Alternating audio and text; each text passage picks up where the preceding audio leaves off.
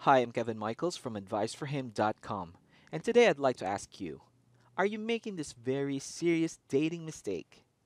If you're like most guys, you've probably already had your share of dating hits and misses over the years. However, if you've gone through more dating disasters than you'd care to mention, you're probably making this very big mistake that could easily ruin a date no matter how fantastic things may be going at the start. This mistake is being overconfident. Sure, demonstrating how confident you are when you're out with an attractive woman can score you a lot of points in the charm department. Overdoing it, however, will only lead to the exact opposite. Although other so called relationship gurus claim that displaying a cocky attitude while going on a date with a romantic prospect boosts your masculinity and supposedly makes your date feel that you are the alpha male, I'll give you a few reasons why being overconfident can mess up a date even before you get started. Number one, it makes your date feel like you're just coming on too strong.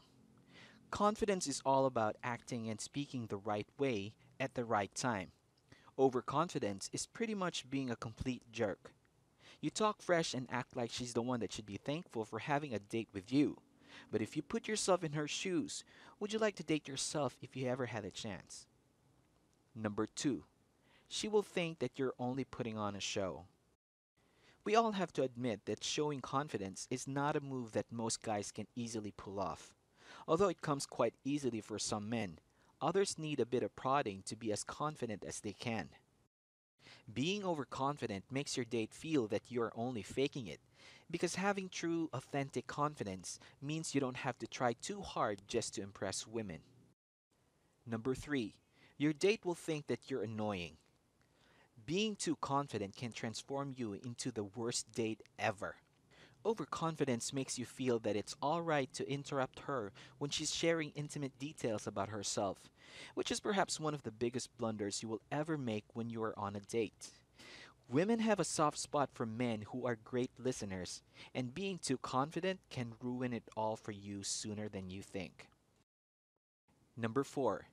It makes her feel you're acting that way because you're secretly insecure. I'm sure you've heard of little man syndrome.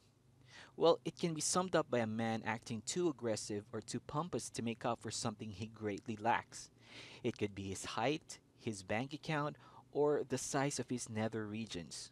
And overconfidence can make a woman think that you have this problem.